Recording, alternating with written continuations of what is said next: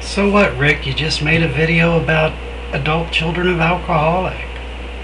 So they grow up. Big frickin' deal. Deal with it.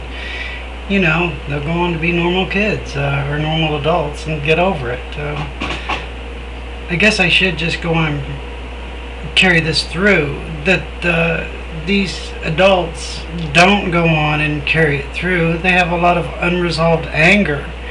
And tied in with this unresolved anger is a horrible amount of fear that's been dumped on them as children. And uh, like it or not, as grown up as they get, uh, whether they're 30, 40, 50 years old, unless they start dealing with the inner child, they're never going to uh, attain an actualization to where they get over the disease process.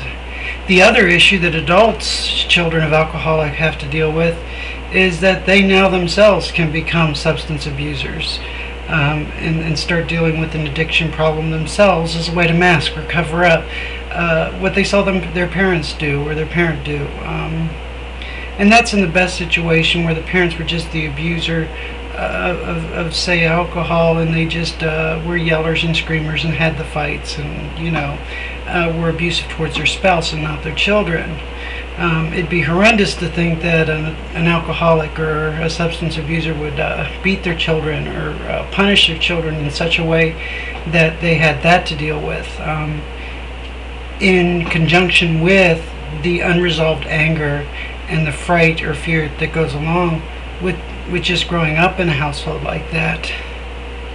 And then work comes along. They've got to earn a living.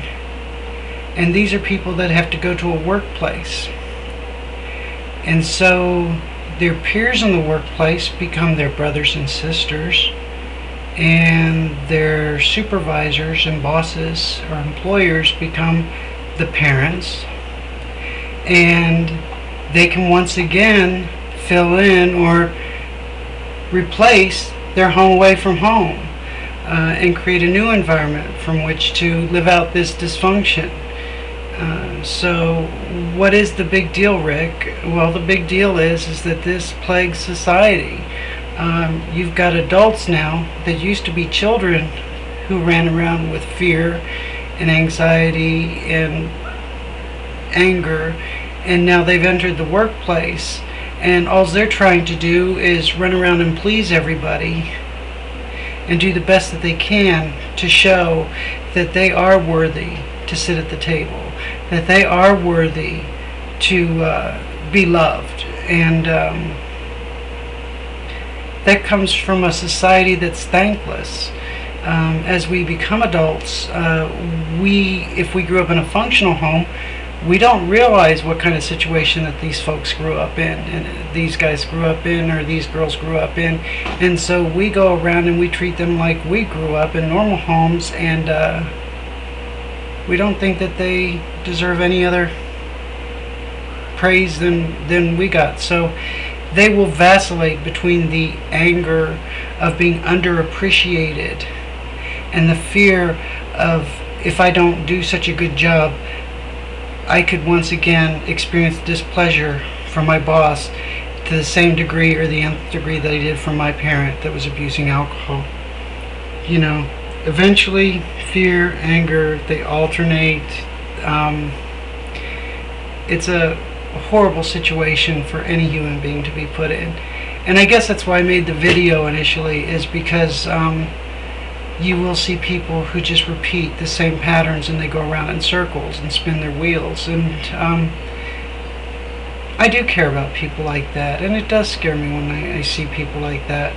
Um, and uh, I just want people to be sensitive to it.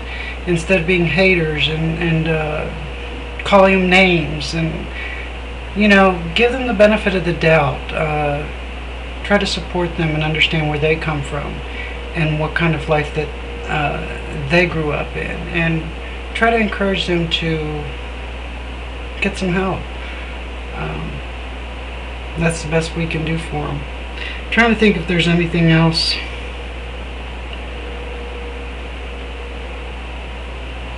I, I just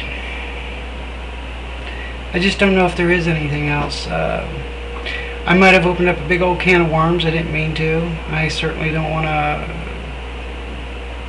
be the self-help uh, YouTube land. Uh, that was never my intent. Uh, I was merely responding uh, because I saw a need or an unmet need.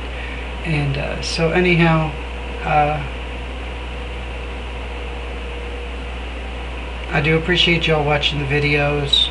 The stars don't count for me. I'm not an entertainer. And uh, y'all take care. Uh, God bless, and uh, I'll talk at you later.